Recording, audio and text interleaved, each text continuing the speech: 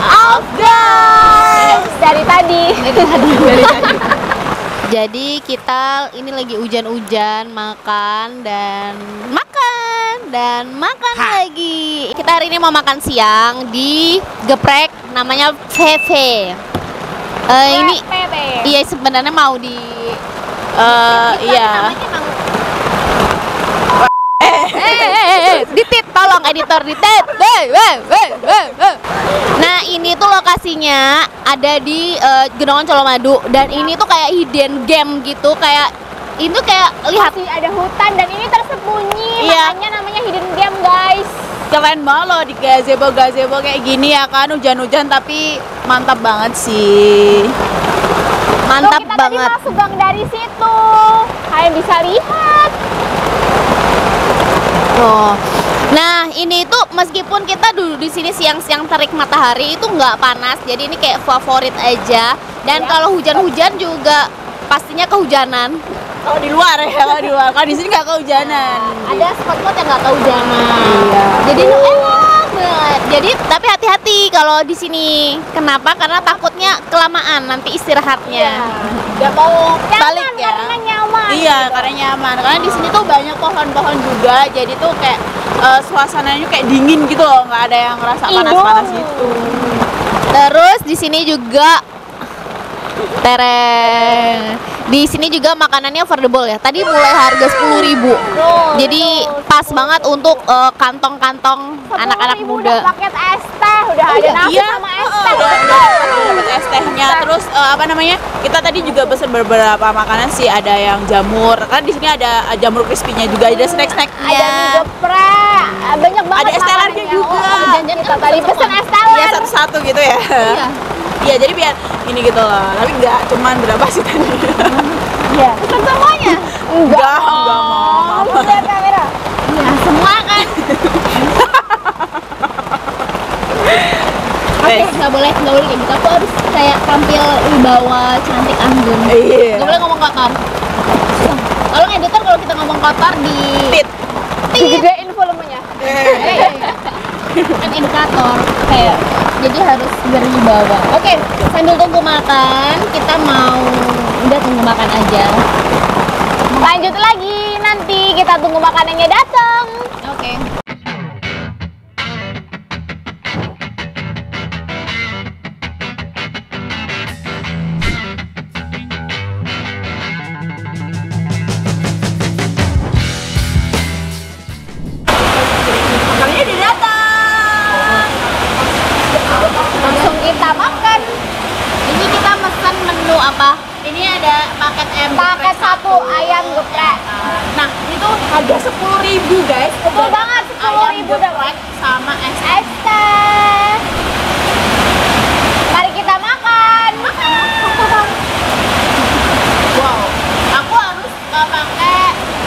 Lada sama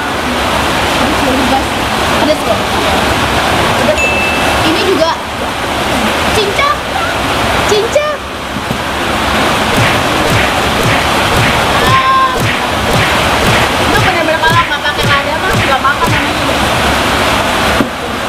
Muntah aja kamu tipes loh. Bu, bu, busuk ini tolong. Busuk ini kamu ini busuk ini ngomong. Busuk ini mohon maaf. makan. Aku nggak nyuruh anaknya ya bu. Dia sendiri udah tak bilangin dia muntah kemarin.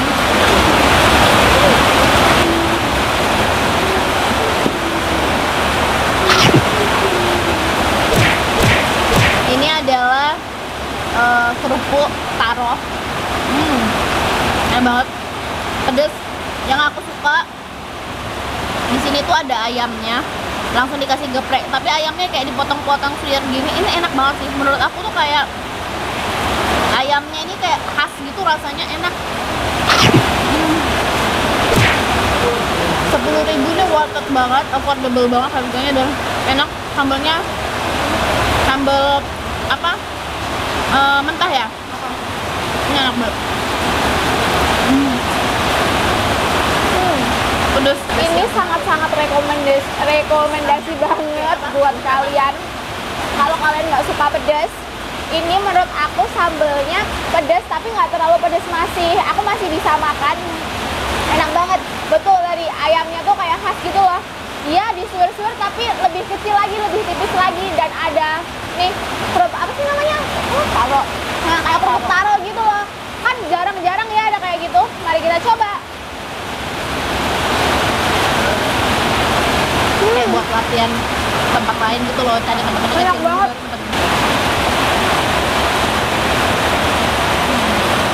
rasa mie goreng Kenapa Momi ngajak kita beli makanan di geprek pepe ini, ayam pepe ini? ada ceritanya Kenapa? ini pakai mic aja deh nah ah jadi kenapa aku ngajak kalian ke sini? Itu karena di sini tuh waktu zaman aku susah-susahnya pengen makan enak harga murah. Makanya aku cari tempat kan? Dan dekat rumah. Jadi naik motor aja eh, aku ke sini cuman modal 10.000 ribu itu udah Dapat satu paket ya? iya 10.000 ribu tuh udah nasi eh,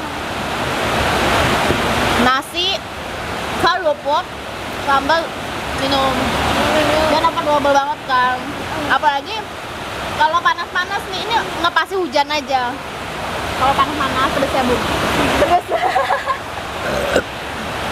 Aduh, kalau panas-panas itu kan tadi di luar, tadi di luar. Nah di luar itu enak banget, soalnya nggak panas, soalnya tuh ada pohon-pohon apa sih jati itu pohon jati. jati. Iya, tinggi Terus kan. ada gazebo. Makanya aku ajakan ke sini dan emang eh, gimana rasanya menurut kamu? Tapi enak banget sih, Mam. Dari ayamnya kan ini tanpa tulang ya, jadi kan enak banget gitu loh. Jadi kita nggak perlu yang eh, harus nyisihin tulangnya gitu kan. Jadi tinggal makan makan makan aja dan enak banget ini pedas enak mantap 10.000 ribu udah dapat es tehnya juga worth it banget sumpah mantap harus coba sih kalian Hidden gem, hidden gem banget sih. Tempatnya emang terselubung gitu. Ini Bener. enak banget dan ini tempatnya tuh kayak masuk ke gang-gang gitu loh guys jadi kalian harus wajib coba banget ini enak banget suasananya Tapi ini di Gojek Grab itu udah ada. Kalau Grab nggak tahu, Gojek udah ada. Udah, udah. Sama Shopee ya, Shopee Food itu udah ada. Dan ini lumayan laris loh di Gojek Shopee. Tapi padahal tempatnya kayak gini. Nah, dari makanannya laris enak, ternyata tempatnya juga enak. Meskipun kalau kalian lihat tuh sederhana gitu. ada tambahan lagi tahu nggak? Apa-apa? ada wifi Ada wifi-nya di sini teman-teman. Jadi kalian bisa nongkrong nugas di sini bisa Anak sekolah habis pulang sekolah tuh makan siangnya ke sini kayaknya pas banget ada wifi-nya lagi. sepuluh ribu, sepuluh ribu loh. Ada ada wifi, tempat enak. Ngejar PR, pacaran. Wow, ngirit kan ya kalau kalian pacaran ya mau yang ngirit nah geprek PP solusinya sepuluh ribu aja guys udah dapat es teh wow banget lumayan loh sepuluh ribu daripada pacaran makannya pentol kok nah Nah. ya lumayan yang lo budget Kan mending makan ini guys. daripada pacaran cuma makan pentol tuh buat apa? Sama es teh. Es teh yang plastikan Nah ini loh sepuluh ribu. Jadi kelihatan kayak mahal juga gitu kan. Lumayan lah daripada cuma pentol. Ya kan kameramen? Kameramennya kalau pacaran makannya pentol guys. Udah putus oh udah putus. Udah putus kok. Kameramennya udah nggak boleh pacaran lagi. Sebenarnya tuh aku kan kemarin pengen ngajak balikan sih ngajak balikan cowok tapi dia nggak mau guys. Astaga ternyata dia nggak mau sama aku. Dia udah nggak mau. Dia udah nggak mau sakit hati lagi sama aku katanya. Kenapa? Karena kan dulu kan eh, namanya eh, gini loh kan aku kan dulu pernah pacaran kan ya. Aku tuh pacaran udah hampir lima tahun. Kayak cicilan motor guys lima tahun ya Jauh kan Allah Ah, belum sih. Belum lunas akhirnya aku tuh di tengah jalan kayak dia tuh kayak selingkuh mulu gitu loh guys main perempuan ya kan? Bukan mom yang dulu kan yang dulu. Nah dari situ tuh aku kayak aku kayak mau membuktiin gitu loh kalau cewek tuh juga bisa kayak gitu. Jadi gak cuma cowok aja. Dan akhirnya aku kebawa sampai sekarang punya cowok itu masih chattingan sama yang masih care sama yang lain dan akhirnya dia tuh kayak sakit hati banget gitu loh sama aku dan dia kayak udah nggak mau aku udah nggak mau lagi Jangan ditiru ya teman-teman.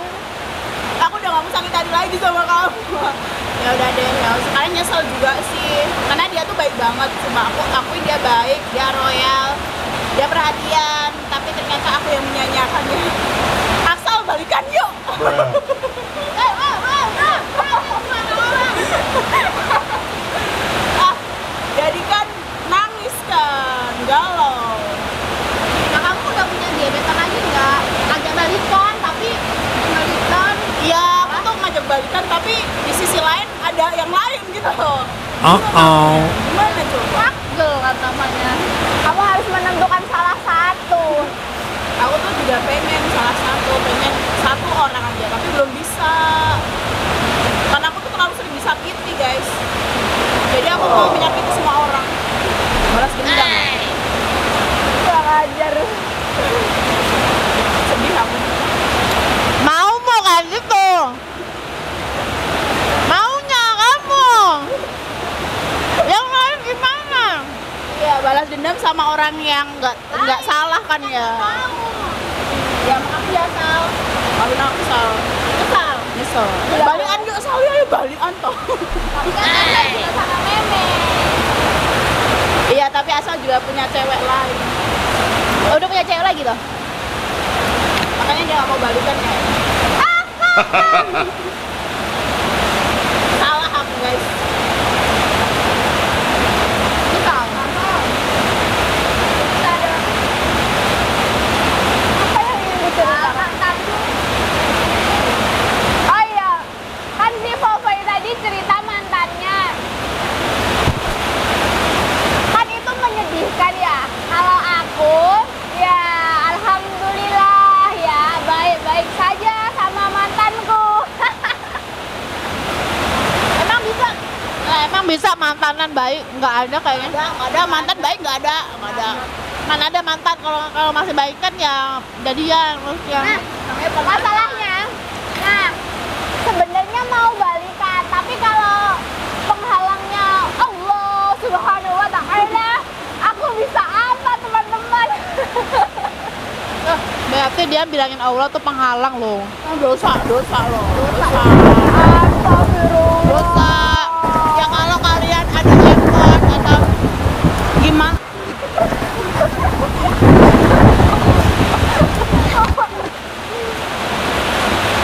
Sok, effort dong sok, nikahin aku. Oh ini effort, effort. Effort. Tiru Mas Marcel bang. Kasih tipsnya dong. Mam. Tipsnya kita kasih enak, kasih nyaman ya anak-anak semua. Terus kasih apa lagi? Mau perbedaan gimana kalau dia udah enak bu- nggak nyaman, eh udah enak nyaman mereka masih tetap ngintilin kita. Mm-mm, Ojo protektif yang kayak masukin ke WhatsApp uh, mapnya itu, jadi sedikit-sedikit lihat mapnya dia lagi di mana gitu. Itu nggak enak, risih.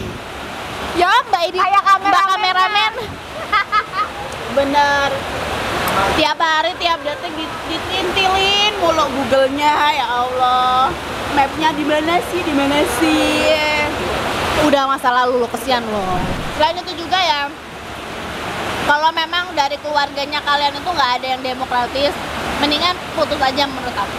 Daripada berat berat daripada kamu kawin lari nah mendingan kalau udah putus ya udah cari yang lain yang kalau kalian nggak bisa berjuang cowok ceweknya sama-sama nggak bisa berjuang ya udah putus aja.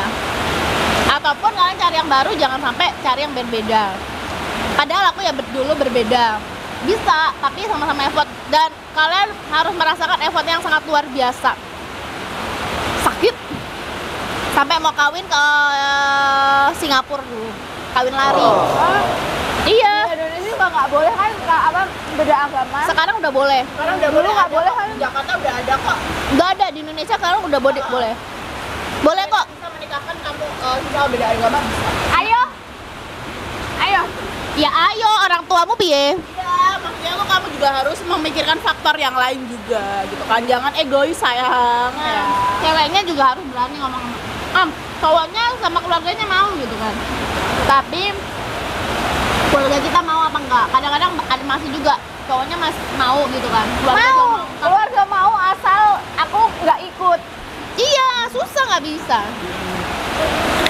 Susah. Ya wes lah, cukup sampai sini. iya dari yang lain. Perjuangan itu berat bisa tapi berat jujur. Daripada kalian pusing masalah kerjaan nanti keteteran putus aja cari yang baru. Tantan eh, Tinder Tantan, Tinder, Omei, dan lain sebagainya merapat kita semua usernya. aku nggak lo ya nanti suamiku tahu. Kecuali dulu pernah Ya, Yeay. kita selesai makan guys. Kita udah selesai makan. Kita udah, Udah selesai kenyang. review. Kita udah selesai curhat dan akhirnya Oh, kita banget. mau pamit ya kan. Pamit undur diri karena udah waktunya pulang juga sih. karena Iya. udah selesai video kita hari ini dan sebelum kita tutup nih ya, aku sangat rekomendasikan nih tempat ini buat kalian cobain. Ini tuh di ini jadi ini tuh di Apa yang mau- jelasin aja nggak apa ini tuh di Colomadu ya teman-teman ya. Sebenarnya Colomadu ini maksudnya Karanganyar tapi ini tuh lebih deket ke Solo. Jadi kalian yang anak Solo anak Colomadu anak Surakarta nih kalian bisa cobain ini. Harganya cuma 10.000 dan sangat-sangat rekomendasi banget buat kalian. Apalagi ada free wifi nya begitu. Jangan lupa ya. Dan ini juga ada di Google Maps. Kalian bisa search di sana ya. Ayam geprek PP ya.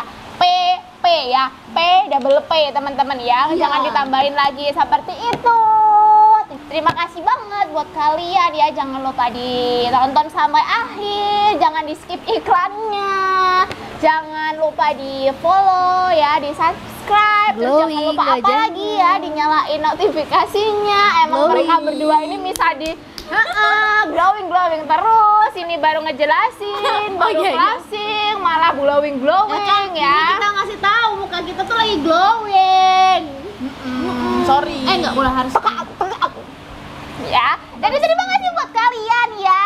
Aku nih tim Power of Girl nak pamit undur diri